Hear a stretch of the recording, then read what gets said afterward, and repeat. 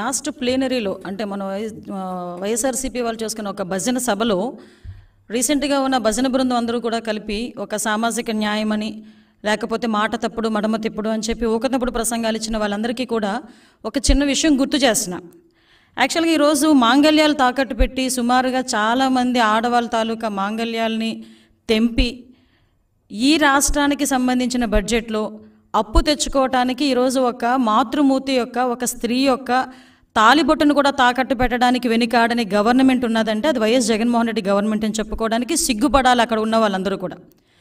అది సామాజిక న్యాయమా అని నేను అడుగుతున్నాను ఈరోజు.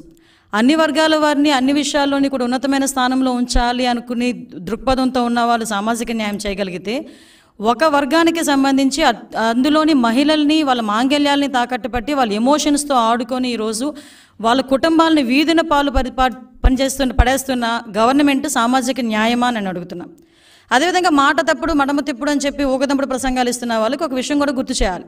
మొన్న మొన్నటి వరకు ఎలక్షన్ హామీల వరకు కూడా మద్యపాన నిషేధం అని చెప్పి వాళ్ళ అయ్య ఫోటో వేసుకొని ఒక బ్యానర్ పెట్టుకొని మద్య నిషేధం నవరత్నాల్లో మద్య సంపూర్ణ మద్యపాన నిషేధం అని చెప్పిన తర్వాత ఈరోజు మాట తప్పాడా మడమ తిప్పాడా వాట్ ఎవర్ ఇట్ ఏం జరిగిందో తెలియదు కానీ ఈరోజు ఆ ఒక్క స్లోగన్ కాస్త వాళ్ళ అయ్య ఫోటో పక్కకి వెళ్ళిపోయింది అందులో కాస్త మద్య నియంత్రణ అని చెప్పి ఒక ఒక మళ్ళీ ఇంకొక కొత్త స్లోగన్ తీసుకొచ్చి అంటే మద్యాన్ని సంపూర్ణంగా నిషేధం చెయ్యలేము మద్యం మీదే మేము ఆధారపడతాము. మద్యం మీదే మా జేబులు నిండుతున్నాయి. మద్యంతోనే సంక్షేమ కార్యక్రమాలు మేము ఇవ్వగలుగుతున్నాము. అంటేగా సూటిగా చెప్పాలంటే జనాల రక్తం తాగి సంక్షేమ కార్యక్రమాల రూపంలో తిరిగి ఆడాలకి బిస్కెట్లు వేస్తున్న కార్యక్రమానికి శ్రీకారం చుట్టి దానికి ఒక పెద్ద పేరు అమ్మఒడి ఆసరా అని పేరు పెట్టే పరిస్థితి చూస్తూ ఉంటే నిజంగా జగన్మోహన్ రెడ్డి సిగ్గుపడాలో? ఓట్లేసినందుకు మహిళలు సిగ్గుపడాలని మేము అడుగుతున్నాం. మేము చాలా సందర్భాల్లో ఈరోజు విషాన్ని నింపి ఈరోజు మధ్యాహ్నం మీరు అందరూ అమ్మిస్తున్నారు. విషాన్ని నింపి బాటిల్లో నింపి ప్రజల ప్రాణాలతో చెలగాట మాడుతున్నారని చెప్పాం. దానికి సంబంధించి ఈరోజు చూసుకుంటే అంటే దారి దరిదాపుల్లో ఎవడైనా కూడా ఈరోజు తాగొద్దు అని చెప్తాడు. తాగాలంటే షాక్ కొట్టాలి అని చెప్పిన ముఖ్యమంత్రి మాటలు కూడా మరొకసారి గుర్తు చేస్తూ ఈరోజు రాబోయే కాలంలో నేను చాలా సందర్భాల్లో కూడా చెప్పాను. తాగుబోతులే ఏదో తాకట్టు పెట్టి బయటికి వెళ్ళి తాగుతూ ఉంటారు. ఇంట్లో ఆ వస్తువు ఈ వస్తువు తీసుకెళ్ళి. అటువంటి తాకట్టు పెట్టి తాగే తాగుబోతులనే తాకట్టు పెట్టిన వాడు నిజంగా ఎక్కడ ఎక్కడ కూర్చోబెట్టాలో మనకే అర్థం అవట్లే. అలాంటి వాళ్ళని పదిహేను సంవత్సరాలకి ఇరవై ఐదు వేల కోట్ల రూపాయలు ఆ రోజు అప్పు తీసుకురావడం ఒక ఎత్తు అయితే ఈ మద్యం బాండ్స్ మీద బ్యావరేజ్ కార్పొరేషన్ మీద కూడా రీసెంట్గా ఎనిమిది వేల ఐదు వందల కోట్లు తీసుకురావడం ఒక ఎత్తు అయితే ఇంకొక రకంగా ఈరోజు మళ్ళా ఆంధ్రప్రదేశ్ బెవరేజ్ కార్పొరేషన్ నుంచి మళ్ళా తాకట్టు పెట్టి దగ్గర దగ్గర ఇరవై ఐదు వేల కోట్లు. అంటే ఈ మూడు సంవత్సరాల కాలంలో యాభై ఎనిమిది వేల ఐదు వందల కోట్ల రూపాయలని అప్పు రూపేణా రాబోయే కాలంలో తాగుతారు మా వాళ్ళందరూ అని కూడా చెప్పి డబ్బులు తీసుకొచ్చగలిగాడంటే ఏదో అంటారు కదా ఇతగాడు ఇసుకలోంచి తైలం కూడా పెండగలడని చెప్పి మనం కూడా చూసుకోవచ్చు. ఎందుకంటే ఏదైనా ఒక ఆస్తి తాకట్టు పెడతారు లేదంటే ఒక ఇల్లు తాకట్టు పెడతారో లేకపోతే నేను ఒక ప్రమోషన్లో నేను ఒక కంపెనీ పెడతానని దీన్ని ఎస్టాబ్లిష్ చేసుకోగలని పెడతారు. అంతేగాని రాబోయే కాలంలో ఇంతమంది నా రాష్ట్రంలో తాగుతారు కాబట్టి వీళ్ళందరినీ కూడా తాకట్టు పెట్టుకున్న ముందుగా డబ్బులు తీసుకొచ్చిన ఘనత నిజంగా జగన్మోహన్ రెడ్డిది. అయితే విషయం ఏంటంటే ఈరోజు టీడీపీ హయాంలో ఉండేటప్పుడు ఇక్కడ కూడా ఒక విషయం చెప్పాలి. ఎందుకంటే ఈ రోజు మద్యం మీద ఎన్ని రకాలుగా ఇతను డబ్బులు సంపాదించుకుంటున్నాడు అన్న విషయం మీద నేను క్లారిటీ ఇస్తున్నాను. ఎందుకంటే టీడీపీ హయాంలో దగ్గర దగ్గర ఒక క్వా ఒక చీప్ క్వార్టర్ కొనడానికి గవర్నమెంట్ ఐదు రూపాయలు ఇరవై పైసలు కొనేది. మరి ఈ రోజు ఐదు రూపాయలు ఇరవై పైసలు ధరలు పెరిగినాయి అని సంగతి తెలుసు కానీ మద్యం ధరలు ఇంతలా పెరిగిపోయినట్టుగా వీళ్ళు చూపించి సుమారుగా ఇరవై ఏడు రూపాయలుకి మద్యం కొని అవి ఎవరు జేబుల్లోకి వెళ్తున్నాయి ఈరోజు అంటే దగ్గర దగ్గర వీళ్ళు గవర్నమెంట్ ఇంతకు ముందు గవర్నమెంట్లో టీడీపీ హయాంలో మద్యం మీద వచ్చిన ఆదాయం ఆరు వేల నాలుగు వేల ఆరు వేల నాలుగు వందల కోట్లు అయితే వైసీపీ ద్వారా వచ్చింది ఇరవై ఒక్క వేల కోట్లు. ఇరవై ఒక వేల కోట్లండి. అంటే ఓవరాల్గా చెప్పాలంటే ఈరోజు కేవలం గవర్నమెంట్ నడుస్తుంది అంటే మద్యం మీద మాత్రమే నడుస్తుంది. ఎటువంటి పారిశ్రామికంగా సంబంధించిన డెవలప్మెంట్స్ లేవు. ఆర్థికంగా సంబంధించిన డెవలప్మెంట్స్ లేవు. ఎటువంటి కంపెనీస్ రావట్లేదు. కానీ కేవలం మద్యం ద్వారా మాత్రమే ఈరోజు దాన్ని నడిపించుకొని అంటే గాల్లో మేడ కట్టి ఈరోజు గవర్నమెంట్ నడిపిస్తున్న పరిస్థితి చూస్తూ ఉంటే సిగ్గు అనిపిస్తుంది దీని గురించి మేము అన్ని గురించి మాట్లాడుతూ ఏదైతే వీళ్ళు నిబంధనలకు విరుద్ధంగా. ఏపీ బయోరస్ కార్పొరేషన్లోని సుమారుగా వంద కంపెనీలు ఉంటే మేము చాలాసార్లు చెప్పాం. కేవలం పదహారు కంపెనీలకి మాత్రమే వీళ్ళకి సంబంధించిన డిస్టిలరీస్కి వీళ్ళందరూ కూడా పర్మిషన్స్ ఇచ్చారు. సప్లైకి పర్మిషన్స్ ఇచ్చారు. అందులోని మేము చాలా సందర్భాల్లో చెప్పాం. మేము డిస్టిలరీ మేము ఎందుకు చీప్ మందు యూజ్ చేస్తున్నారు?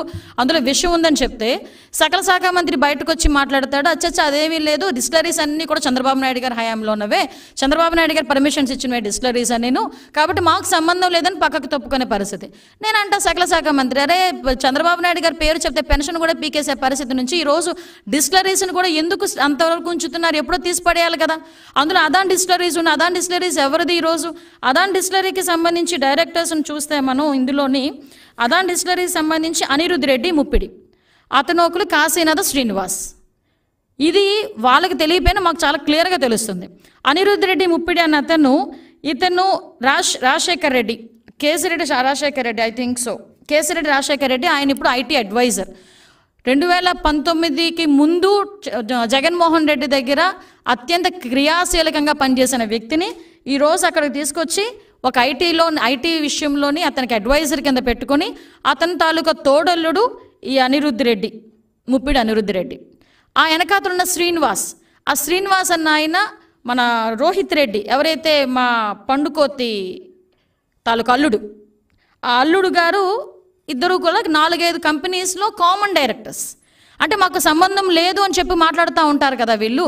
అంటే సుమారుగా ఇది కూడా ఎందుకు చెప్తున్నా అంటే స్ట్రెస్ చేస్తున్నామంటే ఆ కంపెనీస్ కూడా అరబిందో ఇన్ఫ్రా ఒకటి శ్రియా బయోలాజికల్స్ ఒకటి బాంబే బ్యాడ్మింటన్ ఒకటి అరబిందో లాజిస్టిక్స్ ఒకటి టెన్నెట్ ఐ థింక్ బిల్డింగ్ అనుకుంటా ఐ థింక్ సో అదొకటి. Aurobindo lake view. ఈ కంపెనీస్ అన్నిట్లోని కూడా కామన్గా ఉన్న డైరెక్టర్స్ వీళ్ళు. అంటే ఇక్కడ ఓవరాల్గా చెప్పాలంటే అదాన్ డిస్టిలరీస్ అన్న డిస్టిలరీ చాలా చిన్నది. చాలా డిస్టిలరీస్ కన్నా చాలా చిన్నది. ఎందుకంటే రెండు వేల పంతొమ్మిది డిసెంబర్ సెకండ్న అది పుట్టింది. పుట్టి ఇన్ని సంవత్సరాలకే సుమారుగా రెండు వేల కోట్ల టర్న్ ఓవర్ సాధించింది. ఈ రెండు వేల టర్న్ ఓవర్ రెండు వేల కోట్ల టర్న్ ఓవర్ సాధించడానికి కూడా మొన్న మొన్నటి వరకు దాని దగ్గర ఒక ఆఫీస్ ఎస్టాబ్లిష్మెంట్ కూడా అదాని డిస్టరీస్కి లేదు. ఒక టెండర్ ప్రొసీజర్లో వెళ్ళాలి అన్నా కూడా ఎక్కటి పరిస్థితుల్లోని వెనకాతలు దానికి ఎంత ఎక్స్పీరియన్స్ ఉంది? ఒక చిన్న పోస్ట్కి నీకు ఎక్స్పీరియన్స్ ఏంటి అని అడుగుతారబ్బా? ఒక చిన్న పోస్ట్కి అటువంటిది అదాన్ డిస్టరీస్ ఒక డిస్టరీ కంపెనీని పెట్టి ఒక బ్రాండ్ క్రియేట్ చేసి ఆ బ్రాండ్ ద్వారా మద్యం జనాలు తాగే మద్యాన్ని పంపిణీ చేయాలంటే వెనకతల ఎక్స్పీరియన్స్ ఎంత అడుగుతారు?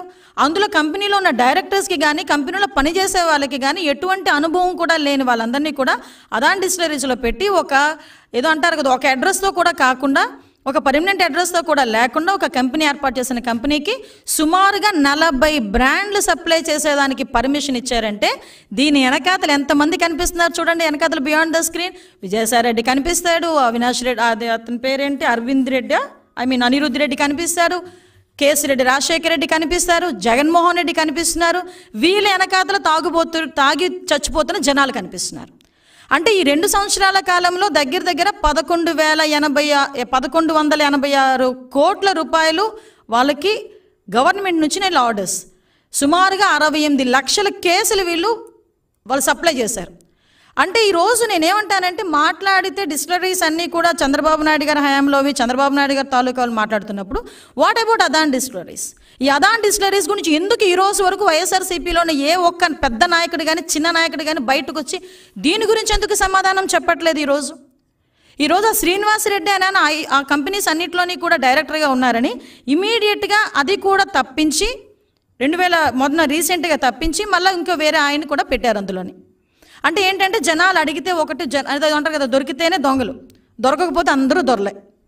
ఈ రోజు పరిస్థితి ఎలా ఉందంటే ఇంత దారుణమైన సిచ్యువేషన్స్లో అదాన్ డిస్లరీస్ లాంటి డిస్లరీస్ని బయటకు తీసుకొచ్చి విషపు మందుని బయటకు తీసుకొచ్చి మహిళల తాలూకా మాంగల్యాలతో ఎంత దారుణంగా ఆటలాడుకుంటున్నాడో ఒకసారి చూడాలి.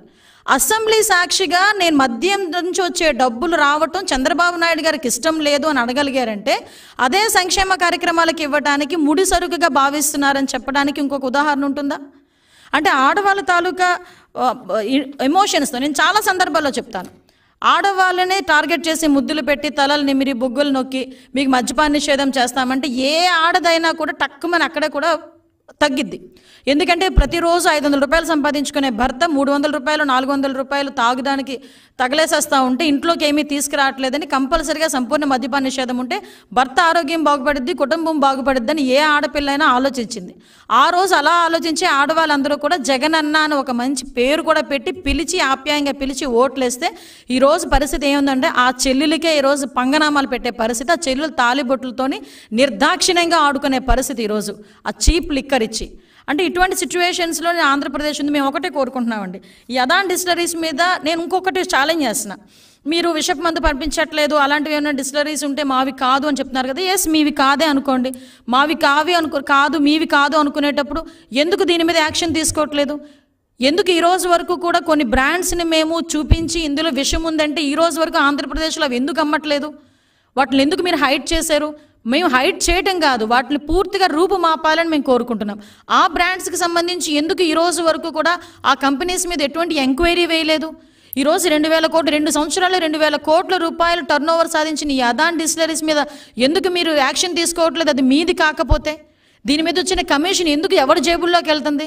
ఏమంటే నెల సుమారుగా నెలకు ఐదు వందల కోట్లు ప్లస్ అండి. జగన్మోహన్ రెడ్డి ఆదాయం నీకు దమ్ముంటే ఈరోజు ఆదాయం పెంచుకోవాలి రాష్ట్ర ఆదాయం పెంచుకోవాలి అనుకునేటప్పుడు ఎందుకు డిజిటల్ కరెన్సీని ఎందుకు పెట్టలేకపోతున్నావు ఈరోజు వరకు?